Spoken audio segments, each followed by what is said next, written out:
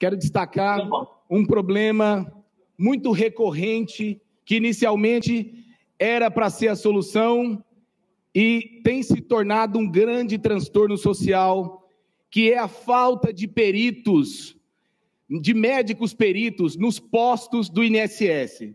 Para se ter ideia, nós só temos 33 médicos peritos do INSS no estado de Mato Grosso. E temos uma fila de mais de 20 mil segurados aguardando uma perícia médica. Vejam só, senhores, o descaso que tem sido tratado as pessoas que precisam do socorro do Estado com quem sempre contribuiu.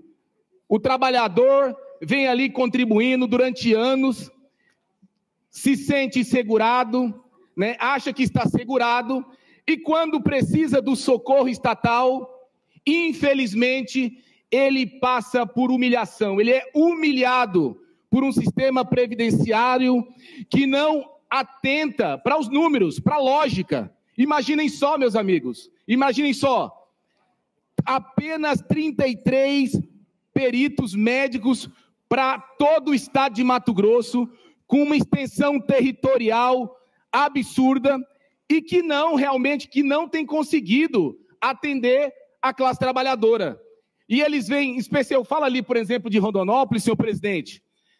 As pessoas têm se deslocado ali para a Barra do Garça, né? ali aquela região contempla mais, congrega mais de 600 mil pessoas, porque são mais de 19 municípios. E as pessoas têm sido obrigadas, é, mesmo acidentadas, se deslocar por todo o estado, por Cuiabá, né, em Barra do Garça, para procurar o socorro e procurar assistência previdenciária, que era para ser um direito.